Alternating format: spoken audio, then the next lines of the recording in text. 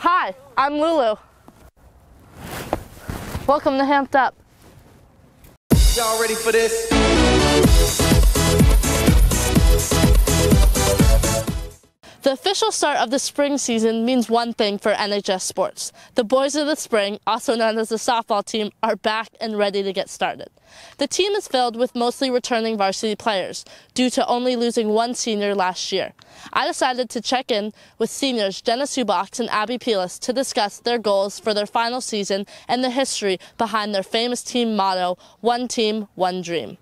It means that our whole team has one dream and we can only um, achieve, achieve it, it, if we work together. together. Yeah. You're one team achieving one dream. Yeah. I don't really know where it originated. Our My dad- just gave it to us. no, my dad found it. Yeah, and just told us that was our motto. I think in our last season, we just we hope to make it to playoffs, like make it as far as Yeah. we can, and like just have as much And fun as we can we along hope the way. to beat Minnechaug. beat Minnechaug. April 23rd and May 11th, important dates. Yeah. We want to beat Minnechaug, make playoffs, go as far as we can, and have fun.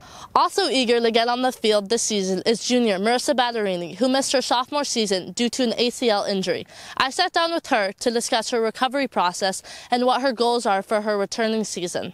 I tore my ACL in December, but I didn't get surgery until July. So that first month of recovery was essentially just like being able to straighten your leg and get the range of motion back and super simple exercises just to get that motion back. And then after I was more comfortable with that, I started to get into a little bit of strength stuff and I would say that probably went on for like 3 months. And then after that, I started the jump program, which is essentially just like plyometrics and lateral movements. Well, I'd say my biggest goal is more of a team goal, and that'd be to win Western Mass. The sport comes with a lot of athletic challenges and requires a deep understanding of the game. But an additional challenge for senior Eva Luna Santiago is playing with English being her second language. I sat down with her to discuss what motivated her to play and how she handles the challenge of learning both the game and the language. Because when I was little, my my grandfather was playing softball, so yeah, he died, and I wanted to play it too.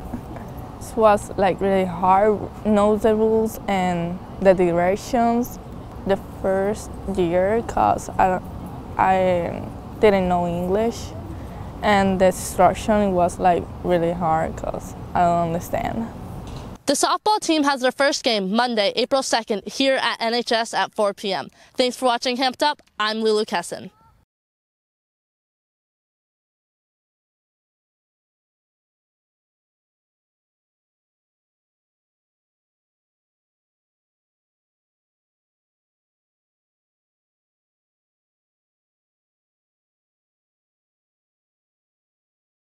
Well, having an experienced team will um, help us because we've all been playing together for so long, so we know each other's Yeah, having capabilities. yeah, having only lost one senior, we don't have to like really try and get used to anything new. Like we've all been playing for so long, we're all comfortable with each other and like know how each other play.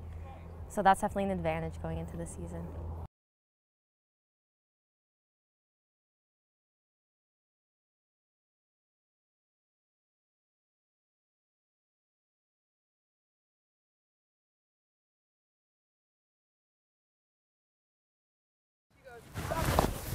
Welcome to Hamped Up.